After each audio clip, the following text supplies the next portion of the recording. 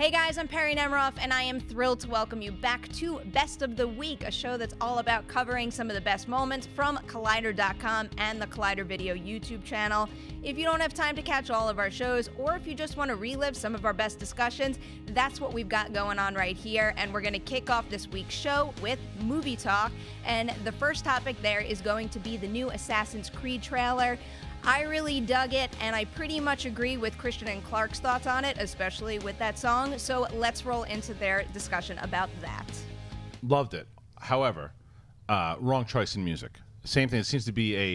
It seems to be happening with whether it's a Star Trek trailer or a Ghostbusters. trailer. oh no, Ghostbusters was fine. But there's, there's certain choices in music that have not worked. This was one of them with the I think Kanye song just didn't work. That being said, really liked what I saw. I think that I played the first game. I didn't play the others, but I from what I remember of the first game, this was a very and I haven't seen the whole movie, but very true adaptation from the game into what fans wanted to see in overall feature film. Yeah, I liked the trailer a lot too, and I think the thing that you pointed out is really important, which is um, already starting to explain to people who are not necessarily game that play the game what this world is, how it's possible. I noticed that actually in some of Marion Cotillard's VO, kind of saying this is what this is, it's not like this, and, and, and introducing us to what this world is and how it functions. I think that's going to be really important because I do think it's important if you want to have a mainstream, wide, widely popular film film to you know invite not only right. the hardcore gamers but also uh, the the new people too.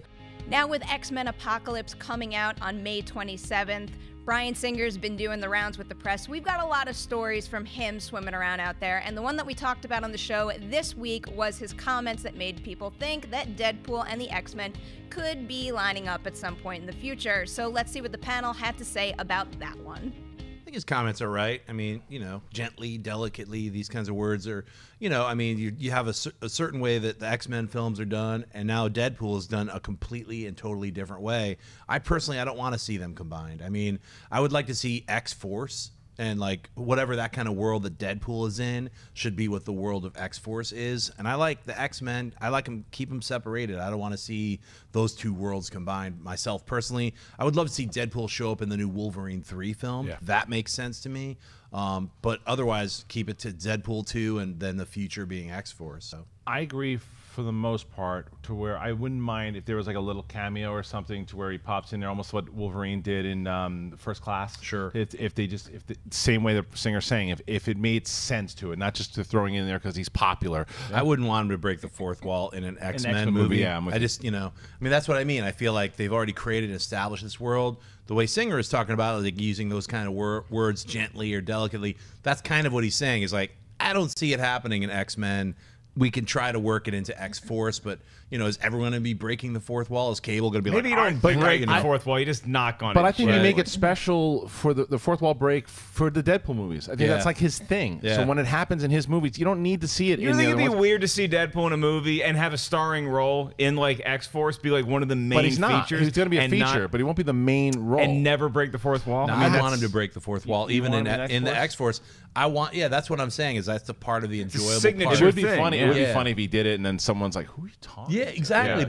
Now, this next story is a mailbag story, and it's actually a question that I find really interesting, but kind of crazy at the same time. It's basically asking if Civil War underperformed because of Batman v Superman, which, on the one hand, I find ridiculous because the movie almost made $180 million in its opening weekend. That's a lot of money, but at the same time, you kind of can't discount the thought that, yes, because of BVS, whether you liked it or not, or whether you just don't want to see another superhero movie again, that that could affect Civil War's performance. So let's see what everyone had to say about that.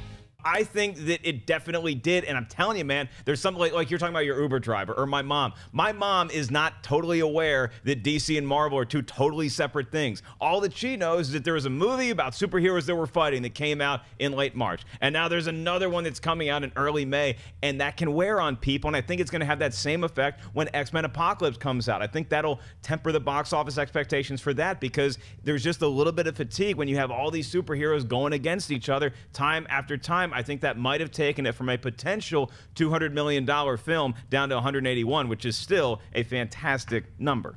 That's the thing. Is that did it have an effect? Sure.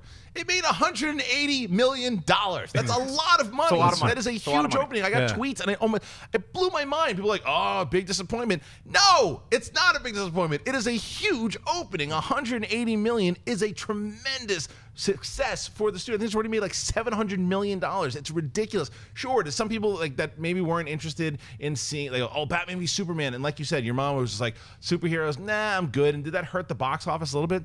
Yes, but it still made 180 plus million dollars. It's it, who cares if it just took off some of those people? It's a matter of if it would have made like 95 or 100 million, Sure. and then the drop off was huge. That's the trick. Yeah. What's the drop off like? That's the that's the big thing. If people that are seeing the movie and telling people about it, because that's what happened with Batman v Superman. Mm-hmm. Critics really hit it hard. A lot of fans, some fans really enjoyed it, but a lot of fans didn't like it, Right. and that affected the drop off tremendously. Huge drop off second week. So what will the drop off be? Then I'll start talking to whether or not it's a, a hit or miss. Now we're going to highlight a new thing we've got going on at Movie Talk that is the Wendy Cam. So we know you guys love using that live chat during every single episode, and she is doing an awesome job keeping an eye on all the comments, making sure they're appropriate. And now we're also going to feature some of them on the show. So let's take a look at how that works. All right, Wendy, what are they saying in the chat room over our buy or sell topics? All right, well, for Cafe Society, the chat room was pretty divided on buy or sell. Some are saying it's going to be a yawn, and some even says, after Batman v Superman, I don't even want to see Eisenberg again. It's a slightly different role. But kids. It's not Lex Luthor and Snow White hanging out with Green Lantern's girlfriend. It's a, it's a, sorry, it's, not a superhero movie. It's actually it's actually a sequel to American Ultra. yeah, it's a, a sequel to American Ultra. and a shark is attacking Blake Lively. Yeah. Thankfully. now will Um, you watch it? Also, for Yoga Hosers, they are saying that the trailer sucked, so it's a hard sell. Um, and someone even says, I'm selling this so hard, I'll have money to buy dinner. For the New Mutants, the majority of the chat buys the New Mutants um, as long as Singer is not involved. Really? And someone says, New Mutants is a perfect opportunity for more diverse casting. I just hope they don't cast Emma Stone as Mirage. Now we're going to jump into our Jedi Council portion of the show, and the first story we're going to cover is Alden Ehrenreich's casting as the young Han Solo. Now, obviously, that casting happened last week, but a cool piece dropped this week about how Steven Spielberg found him, which was through a bat mitzvah video. So while you guys check out that clip, I'm going to go upload my own bat mitzvah video because I'm sure going to get big Star Wars roles based on me playing Coke and Pepsi. So obviously, everybody who has a bat mitzvah video, send it to Steven Spielberg uh, at Universal. you know, as it turns out, Ehrenreich was my choice. He was the guy I wanted to get this because you look at a movie with George Clooney, uh, James Brolin, Yeah. uh, Tatum. d- d- like oh, John Channing Tatum, all these people in there, uh, Ray Fiennes, all that, and by far the standout performance was Alden Ehrenreich. That's that's something on your resume. Yeah. So I'm thrilled with the casting. and I cannot wait to see what they do with it. It was funny because when everyone announced him, everyone was, "Oh, are you upset because Taron Egerton didn't get cast?" No, it wasn't because they got somebody good and they got somebody Yeah. who they thought could work the role. And now that you know you had Spielberg's endorsement, doesn't surprise me because Spielberg has been very tied into the Star Wars franchise for as long as 1977 or even 76 or even before then when they were developing the damn thing. He's been a, he's had a hand in it. So now, as much as I love Comic Con, I'm a little bummed this year because Star Wars Celebration is happening right before, so obviously I can't go because I could fly myself to London if I really wanted.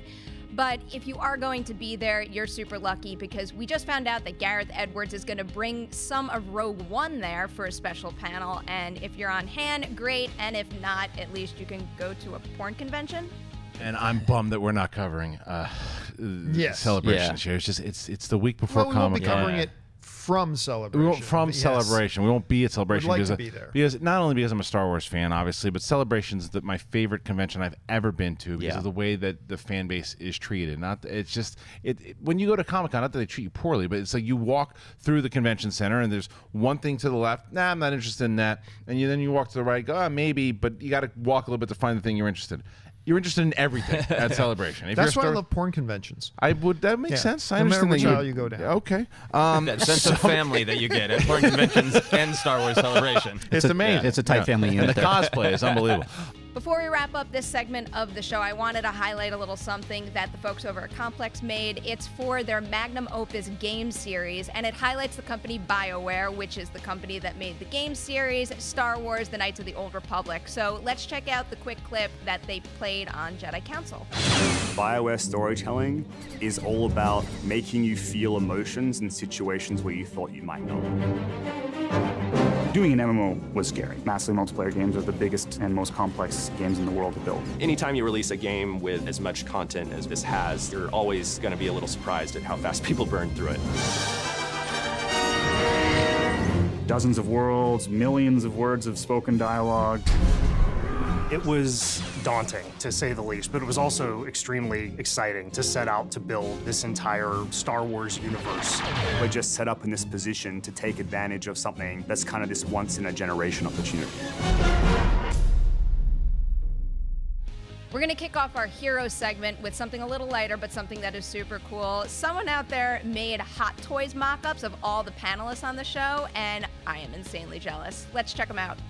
I thought, you know what would be great is to show my appreciation by showing you guys these fantastic mock-ups, starting with our very own Hot Toy specialist, Robert Meyer Burnett. Here is a Hot Toys mock-up. So good. That's the greatest Uh, thing ever. He comes with a film reel, a film uh, clapper, and a Got chair. little Spock hands. Yeah, he's got Amy Dallen, our very own future girl. Here she is in a very special future girl superpower outfit with her own uh, comic book boxes and uh, It's the long boxes. I'm so overwhelmed by this, but the freaking long boxes are so great. rocking rocking forth with a Jedi uh, flavor going on there. That is Superman lightsaber, and myself, Jon Schnepp, showing up here with a special, the extra sweaty edition. Uh, you get the uh, the uh, bulk Hulk whatever variant that comes with them. Yeah. Yeah, the incredible Schnepp. So.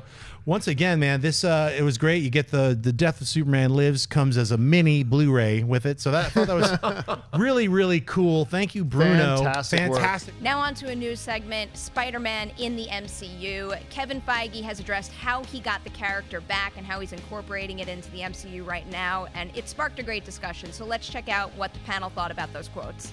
Some people are misunderstanding this whole situation. And they're tweeting me, Kevin Feige is in charge of Spider Man now. Uh, yes and no. He's in charge as far as Sony lets him be in charge. Don't forget, this is still their character. They still have to approve everything that happened with Spider Man and Civil War. They still have to approve everything Kevin Feige wants to do here. But if they're smart, if Kevin Feige wants to do it, just say yes before even listening to what it is he wants to do. Just say yes and move on. And and that would be the ultimate smart thing for them to do. I'm still a little bit in shock that any two corporations are behaving this way. That they actually sat. Uh, well, yeah, right. Like, but it seems it sort of flies in the face of of what I've l- learned to expect from watching these things unfold. That they could be like, hey. If we collaborate, it will be better for everyone. It's crazy to me on like as a fan, I am delighted. But this seems like the kind of thing that unreasonable fans ask for and then we get told like, no, no one would ever just be like, "Here, we'll lend you our valuable creative resources in terms of the people who know how to make great Marvel movies and you will make the money from it." Mm-hmm. Like that's wonderful, but also insane to me a little bit. So now it's time for the interview part of the show, the segment where we highlight our recent junket interviews. And we have our Collider editor in chief, Steve Weintraub, doing the X Men Apocalypse junket. He got to talk to loads of people there, like James McAvoy and Jennifer Lawrence. You'll be able to catch those on the site eventually, but right now we're going to highlight a little piece from his interview with Simon Kinberg. The two of them got to talking about the R rating for the new Wolverine movie, and they also addressed the rumor of whether or not Patrick Stewart was involved. Patrick Stewart was rumored to be a part of that film. Is he still a part of it? I'm not sure what I'm allowed to say about that. Um, I will agree with you that Patrick Stewart was rumored to be a part of that film. Um, it takes place in the future, uh, and uh, and as as you and others have reported, it is, it is an R-rated movie. Um, it's violent. It's kind of like a western in its tone. It's just a very cool, different film. In case you didn't know, we have a collaboration with IMAX going on. We do a monthly screening series with them. And not only do we screen a new movie every month, but we also conduct interviews with the filmmakers. This time in New York, Steve had the opportunity to talk to the Russo brothers after a screening of Captain America Civil War. Check out a clip from his interview during which the Russo brothers talk about bringing Spider Man into the fold. we tried to do a v- much more grounded version, in a lot of ways, of who Spider-Man was. Uh, you know, we again part part of the choice was casting him as a kid. You know, like getting him really close to that age that that he, he is known as in the books. We tried to contemporize his relationship with his Aunt May. You know, and make it feel like a more of a modern, current thing, and get away from the nostalgia of like these these older sort of early '60s type relationships. He doesn't refer to his aunt in the movie. He refers to her as May. Uh, so there's a contemporary relationship. What would his bedroom look like with a single parent income in New York City in today in, in today's world? Uh, so those were all sort of the choices that we made surrounding the character. And there was never any talk of a black costume. There's always talk of Yeah, a black costume. we looked at versions. Uh, We yeah, have- we, we we looked at we looked as at everything. As you imagine, you have amazing visual artists at, at Marvel. So like part part of the uh, benefit to people like us making a movie there is you have these people who are creating incredible art that you can draw from as inspiration in terms of what you're going to do on a design level in the movie. So yeah, we we abused them all in terms of options for the Spider-Man costume. And we don't like to leave any stone unturned. We want to see everything. We want to see every option, understand what our options are, and then make very thoughtful choices based on the storytelling. If you'd like to attend one of those IMAX screenings yourself, check out Collider.com because each month when we have one of them, there's always an opportunity to win tickets. Now, of course, you got to live in the city where we're having it, but go there if you want to check it out. So now let's move into the TV Talk segment of the show. And one thing to keep in mind with this first story is TV Talk records on Mondays, so they are not aware of all the renewals, cancellations, and shifts that went on later in the week. So the first story is the Supergirl story. And as you know, there were rumors for a while that Supergirl could possibly move from CBS to the CW. Now, in this clip, the panel speculates about if that will happen and what kind of changes that would bring to the show. But of course, as we know, it did happen. So actually, their thoughts are really handy now. Let's check them out. Uh, personally, I don't really like Supergirl on CBS. I'm not a huge fan of kind of what they've done with the property. Everything uh, just looks too well lit. Everything, uh, it's they just. It just seems a little too hokey. I think if they were to take it to CW, get in line with the Berlanti programs that he, he's done so well, uh, Arrow at least until like uh, recently, I guess. Uh, I mean, I love Arrow still, but I know a lot of people in the that talk about Arrow like, well, do we still watch the show? But Flash, I think, has been fantastic. I know David loves Flash, um, and I think what they could do with Supergirl is lower the budget, think inside that box of what that lower budget might be and make it a little bit grittier. Maybe everything doesn't have to be her flying out of the thing or you know fighting. She could get some better villains. They they could go more into the source material of Supergirl and uh, because my my dad who's a huge Supergirl fan of the comic books just tells me all the time that a lot of the stuff they're doing on the show on CBS isn't really source material. Mm-hmm. So they could go into that, which Berlanti does really well with Flash and Arrow. David, I, I'm interested to hear yours. I know you're a big fan of Supergirl. But I think I agree. I think the CW would be better. I was surprised the budget, three million per episode. Yeah, that's a lot. We talk about Game of Thrones being you know seven, eight, nine, ten million per episode, but that's only ten episodes. Yeah. Supergirl's twenty episodes at three million an episode. That's a lot of money to invest in a brand new show. I think they said it's one of the highest, if not the highest, uh, show uh, you know for a freshman season on, on network television. So. I wouldn't mind it being stripped down. I think it would work better. I'd love to see more crossovers. I think that's when those shows are at Yeah. their best. I think when Flash was on Supergirl, it showed a lot of the cracks, a lot Oh, of the yeah. weaknesses. So now this next clip might be my favorite clip featured on this show this week. The TV Talk crew decided to review the finale of The Good Wife, but the thing is, they haven't seen a single episode of the show. So it's absolutely hilarious. Check it out. Here's what happened. Julianna Margulies' character is a lawyer, okay? and she's representing her husband in the trial of his life. Mr. Biggs. Mr. Mr. Biggs, Biggs. from Sex Mr. and the City. Biggs. Also in it is my doppelganger, apparently, according to one person on Twitter, Denny Duquette, aka oh, Jeffrey Dean Morgan. Apparently, Julianna Margulies how the show end with a slap, and she'll just be the good wife from here on out. They ended it Is perfectly. that was the That's intention end. of it? Here was my thing: the like constant running Regina Spektor like montage of like possibilities, the sliding doors of her imaginary life. Wait, was so wait, Sasha. So when Oh. you're at home, Yeah, I need oh, to get I- a picture here. yeah. When you're at home, you go into your sweating from bedroom. laughing, you the go into your bedroom and you have your your your, your MacBook out there uh-huh. and you play a song, Yeah. song from your past. You don't just sit there and just Glass think about cab. all. I know you're very very happily married, but you don't sit there and just think about all the possibilities that could have happened if you when you I were put on NWA. And I just oh, you just rock out. Yeah. Just go out. All right. That was so amazing. And I knew about the Josh Charles thing because, spoiler alert, his character was killed off like three seasons ago or two seasons Yeah. ago, and people freaked out. So, something I didn't care about, I found out about anyway. So, to see him back and she's like, nobody's going to be you. I'm like, so wait, you're telling me that the end of this show is going to be her ending up with not her husband, not her lover, not the dead guy. She's going to get slapped in the face by Christine Baranski. and then cut to Ridley Scott's And name. it. You're like- I was like, are you kidding me? so I don't know if I'm excited at that I don't, I don't know if it was a highlight or a low light. Oh All my I know God. is that we watched it. Now let's move on to the Collider.com segment of the show where we get to feature some written articles produced by our incredible team over there. First up, we've got Captain America Civil War. Now, the movie's still cruising along at the box office, so we've got two Civil War character features for you. Now, while I think it's safe to assume that most of you have seen Civil War at this point, if not twice, I still want to warn you that these pieces have Civil War spoilers in them. If you're cool with that, first up, there's Haleigh Foutch's piece about Black Panther and what makes him the most exciting character in the MCU, which includes a rundown of his cultural importance. Haley's also got another piece up and running about War Machine and how Civil War finally gives Don Cheadle the chance to shine in the role. Now let's move into the Game of Thrones features, and again, a warning there are spoilers in these articles, so if you haven't seen the most recent episode, Oathbreaker, you might want to hold off on reading them for now. So, first, we've got a piece from Kayti Burt breaking down the importance of Jon Snow's parents. Now, odds are we'll learn more about the topic through the actual show as the season progresses, but if you don't read the books, Katie's piece does serve as a great companion to what we've seen thus far.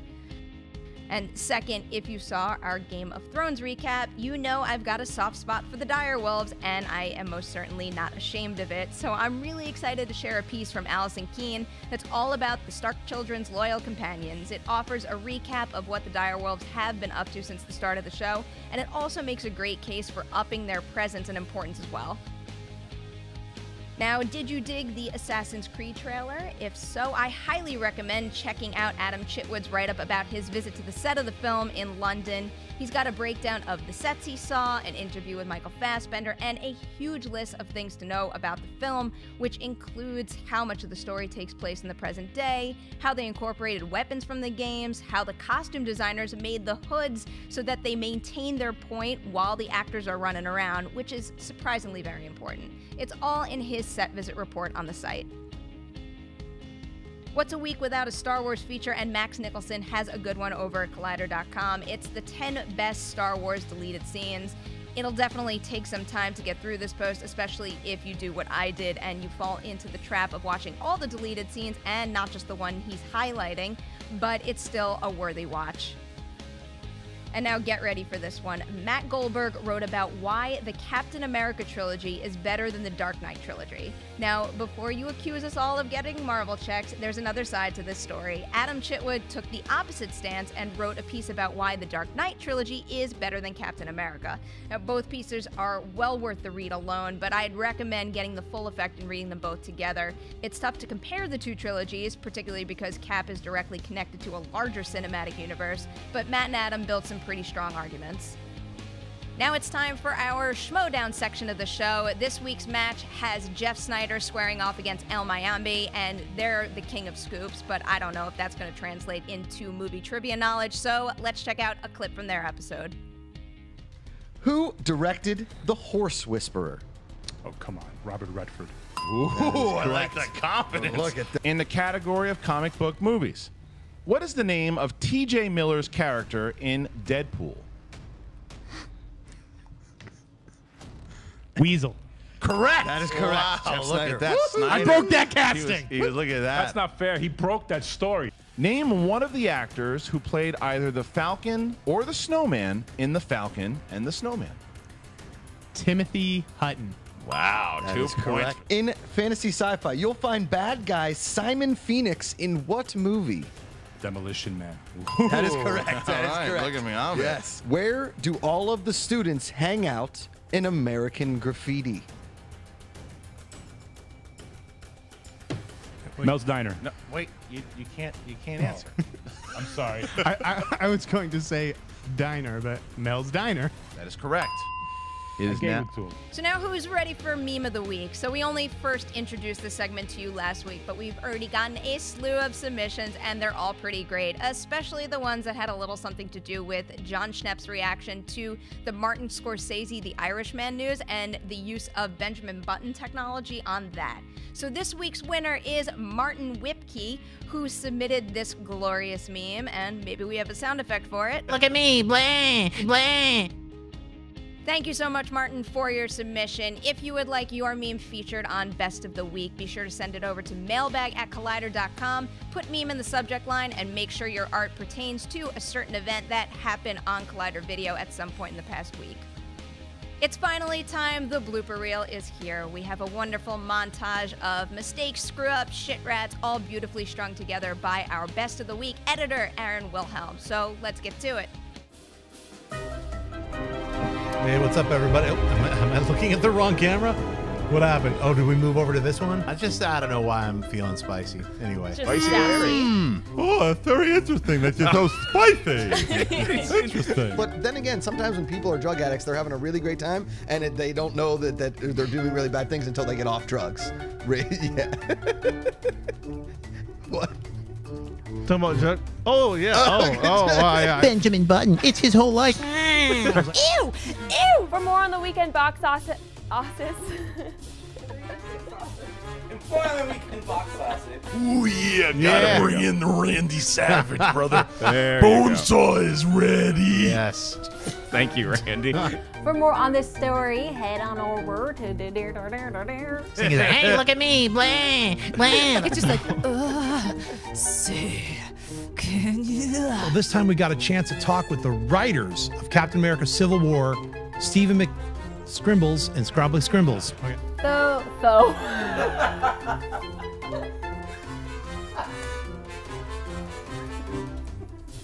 Oh, good. Okay, well, they're here. They showed up for the Zorro story. What? Got it. What just Sorry. happened? That was, Sorry, that I was didn't mean to supposed to be Sorry, sly. what happened? Yeah, I mean, you can Comedies work, yeah. Comedies, you absolutely. Thank you, Scott. um, so, yes. Head on over to collider.com and be, I saw, I saw you. I saw you, Mary. You want to talk about the ratings? Go ahead. No. What? I know, but what what happened? Sorry, there was something. we need That's to- for Josh. Yeah, I got it. I Oh, got it. okay. Sorry. You know, it's trust. Real Oh, nice. Converted her over. All right. now it's time. Surrounded by shit rats. Benjamin, blah. What is what is happening? Hey, everybody, it's Josh Knapp here, and this time we fucked up again.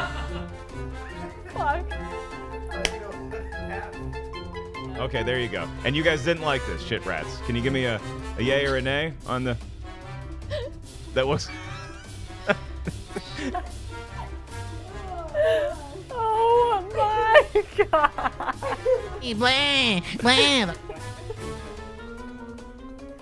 Blah, blah. I just opened with it. Now it's gotta be closed. Mark Elf, don't be so mad with Kristen. Why are you It's so because he's got a different voice going on Oh, right hey, now. we had a great show for about 15 seconds, guys. Yeah, they know exactly, exact. Now I put it in your mind. Enjoy it. Suck on that. That's a wrap on Collider Best of the Week. You guys know we love hearing from you, unless maybe it's about Game of Thrones. So hit the comment section below and tell us about your favorite moments from Collider Video and Collider.com this past week. For Collider Best of the Week, I am Perri Nemiroff. Please catch me on Twitter and Instagram at pnemiroff. Be sure to bookmark Collider.com and check out all the shows going down on the Collider Video YouTube channel. But if you can't watch them all, that's what Best of the Week is for. Have a great weekend, everyone. Hey guys, if you like this video, click the thumbs up button. Also, make sure you subscribe to our YouTube channel. It'll help you stay up to date with everything we've got going on here at Collider.